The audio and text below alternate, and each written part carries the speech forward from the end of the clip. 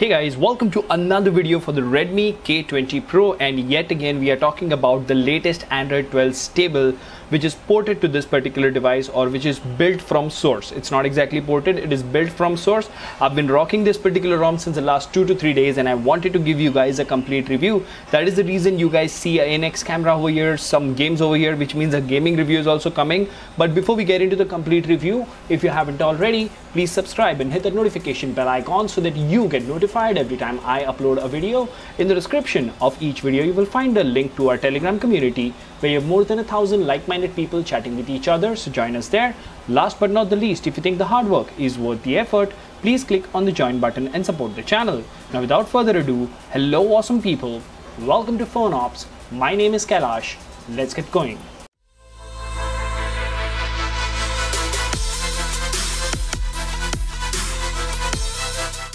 Alright, so first things first, you saw the install video, you saw the initial impressions video and here is the complete review. So if you actually go to about and click on the Android version over here, you will see that this is Android version 12, no beta, nothing. So what you have here is Android 12 Google Play System Update 12 October security patch and it comes with the perf kernel.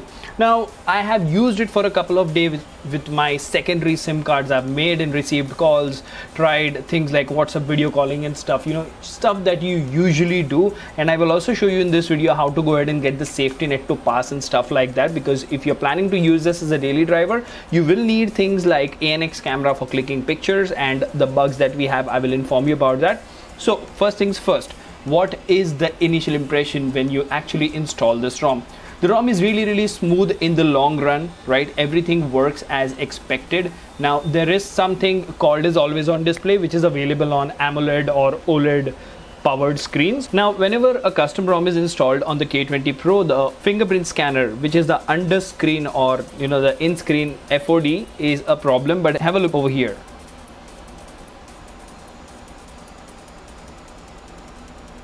Now, sometimes what has been happening is when always on display is there, it doesn't really work that great. But the moment you turn the screen on, there you go.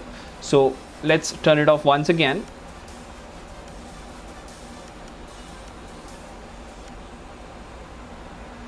Right so the fingerprint scanner, it's not as bad as it was initially on custom ROMs.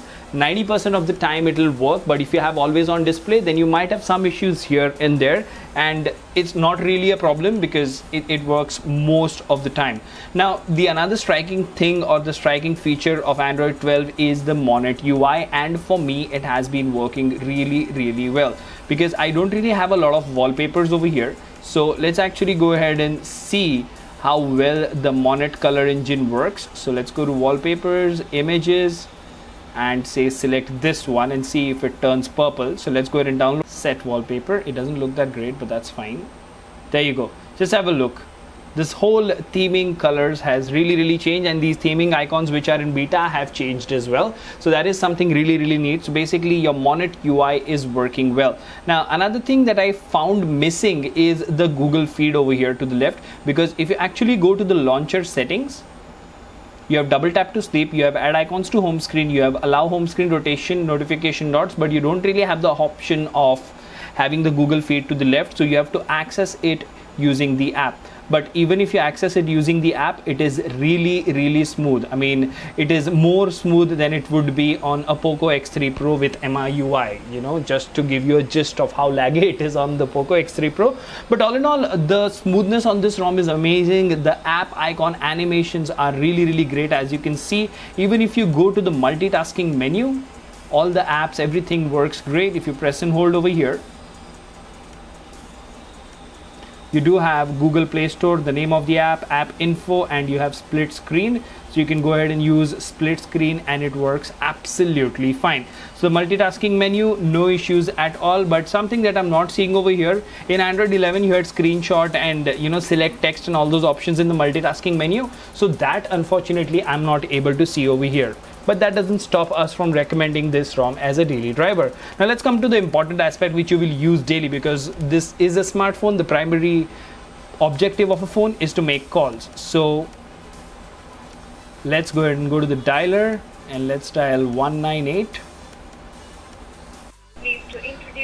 So calling is working absolutely fine. I've not had any issues with calling text messages using whatsapp all the social media applications and stuff. And when you boot into this rom it actually boots with very very few applications so which means it doesn't really have a lot of bloatware. Now we do have accu battery installed. You do see that it it has 11 hours and 38 minutes. So it easily gets you through a day I've not really had any problems with charging. So let's go ahead and have a look at Accu battery as well. So if you talk about charging you have this charge alarm option and stuff.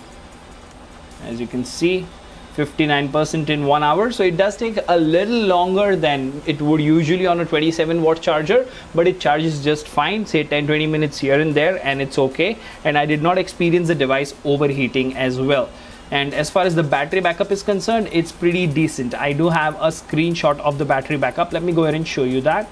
Right.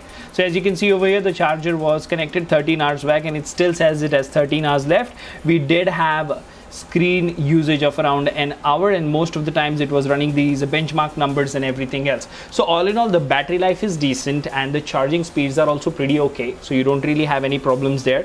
What about the camera application? Now this rom doesn't really come with a camera application so you have to install ANX camera for which of course you need Magisk so before moving to the camera we will actually go to Magisk over here because in order to get safety net to pass so if you look over here if you go to the play store right? And if you check the play store certification settings about not certified right? So let's go ahead and maybe close all the applications and let's go to Magisk over here real quick. There you go. Now in Magisk you need to go to Magisk settings enable Magisk hide go here select this option. Now usually what I do is I select all the Google applications and I hide Magisk for all of them. So let's go to Google over here, right? So one by one, I'll select all of them. There you go.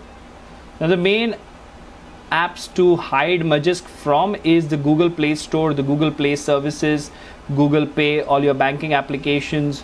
You need to hide Magisk from all of them so there you have it right? So once you've hidden all of them you can go back go back again and then go to settings and select this option called hide Magisk app. Now over here I usually refer this to this as a settings new name. Let's wait for it to hide itself. There you go. Once it restarts it'll ask you if you want to create a shortcut. I'll say no so let's go ahead and close this application. Right so in some time after you clear the data of the play store it will show you device is certified. If not then you can restart the phone. But if you actually have a look i can go to google pay over here. Right and it would not give me any error message. So so basically that is the way to hide Magisk and there is another thing for which you need Magisk that is ANX camera. And I'll tell you the modules that I have installed over here so the remember we renamed Magisk to settings new? So if you look over here you need MIUI core and you I'm using 190R so if you see over here it works just fine but the portrait mode doesn't really work. Front camera back camera portrait is not working. But apart from that you know the normal photo wide angle 2x zoom everything works great. The front camera selfie pops up just fine as you can see over here. So yeah the camera with the ANX camera works, video recording works, just the 48 megapixel mode and the normal portrait mode for the front and rear camera doesn't work. Now, you would ask me charging is okay, everything else is okay, how battery life is okay and you know most of there are no crashes nothing else and you can definitely use this as a daily driver. So what about the performance? Now in order to check the performance i did run two different kernels. The one which is pre-included with this ROM is the perf kernel. So let's have a look at the throttle test of perf kernel first, which is the default kernel. All right. So you see over here it says CPU throttle to 92% of its max performance and the average performance was 186 393 GIPS, right? That is with the stock kernel and with not kernel 87% throttling but the performance increased right? Now let's have a look at the Geekbench numbers and Antutu numbers. This is with the perf kernel, which is 716 single core, 2437 multi-core, and with NOT kernel 743 and 2452 so similar performance. With the perf kernel 523 124 and with NOT kernel 526 482 so NOT kernel on this particular ROM performs a little better and while NOT kernel was installed I didn't really have any major major issues with this particular ROM. So yeah NOT kernel is something based on MIUI vendor and it works fine and you can go ahead and try it. Now before we end the video let's talk about the bugs or you know the issues that I faced. I've had one or two instances wherein the phone completely froze on me. I had to press and hold the power button to get the phone to hard reboot. That is one instance. And secondly, in extremely low light while always on display is enabled, the fingerprint scanner sometimes refuses to work. Now, apart from these two issues, I did not have any major problems. I can safely recommend this to be used as a daily driver on your phone, especially considering the fact that you have stable Android 12. That is the latest version of Android 12, which is going to stay installed on your device. Let me know in the comment section what do you think about this ROM in this review. The gaming review is coming for this particular ROM as well. Until the next one, this is Kailash signing off at PhoneOps. Keep smiling, take care, goodbye.